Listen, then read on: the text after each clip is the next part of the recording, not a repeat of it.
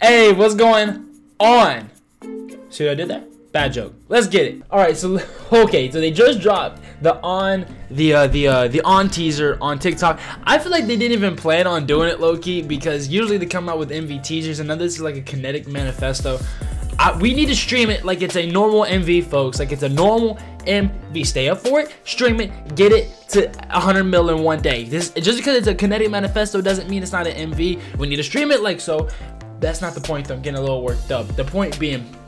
Uh, I'm about to react to the little teaser, the 30 second teaser, and that was already gonna be fire. I, usually they have music videos with this, so I feel like they were like, man, we didn't tease it. Let's just let's just drop it on a popular app, like a little snippet. Let's take 30 seconds and let's just snip it and uh let's, let's break the internet. And that's what they did. They uploaded it on TikTok and it broke TikTok. So good job, BTS. Good job, Army. Anyway, we're gonna be reacting to it. Uh, drop a like on the video if you enjoy it. Subscribe if you're new here, guys. The only thing we're growing every day, and really appreciate it. And also, we're doing a live stream tonight at 10 on my channel. We're gonna talk, have a mukbang, relax, and uh, stay up for the album. So, if you're down for that, let's get it. Anyway, let's get right on to this reaction.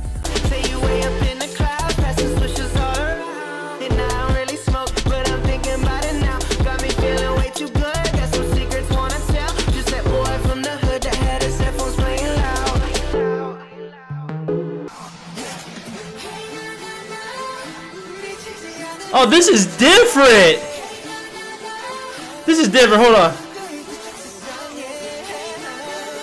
Boom, boom, boom, boom, boom, boom, boom, boom, boom, boom, boom, boom, boom. This is gonna be dark. This is gonna be a dark theme.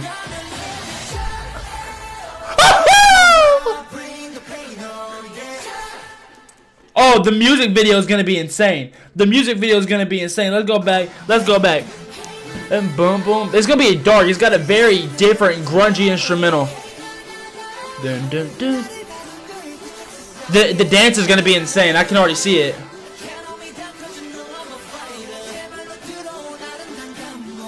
It's gonna be crazy. Oh, and that part right there, I'm gonna get goosebumps. Oh yeah.